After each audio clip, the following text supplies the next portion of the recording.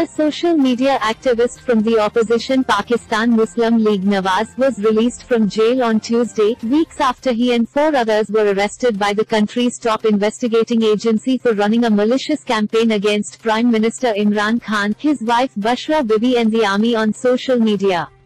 The Federal Investigation Agency FIA arrested five people, including PMLN member Sabir Mahmood Hashmi, as part of a nationwide crackdown against those involved in personal attacks on Khan and his wife.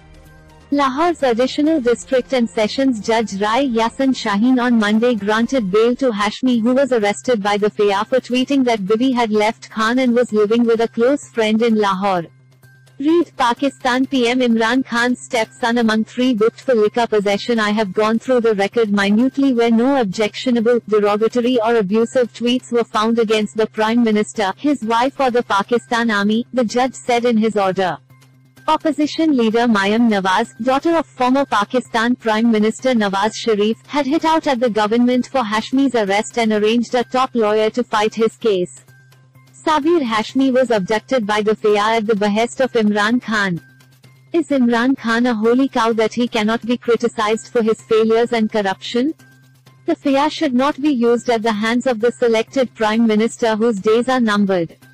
The whole party is standing with Hashmi, Maryam had said. Mounting US-Russia tensions The PMLN and the ruling Pakistan Tehreek-e-Insaf PTI parties often criticize each other on social media.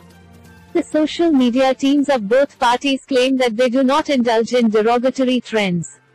We have a team of 3,000 social media volunteers and not a single one of them is paid and indulged in negative campaigns against our opponents, PMLN social media central head Atif Rauf told PTI.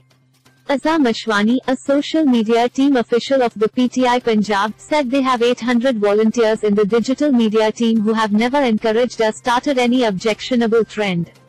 Last month, reports surfaced on social media about differences between Prime Minister Khan and his wife.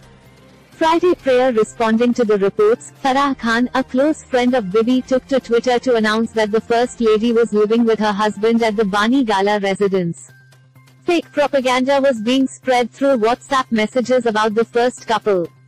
The First Lady is not living in my house but at Bani Gala in Islamabad, she said.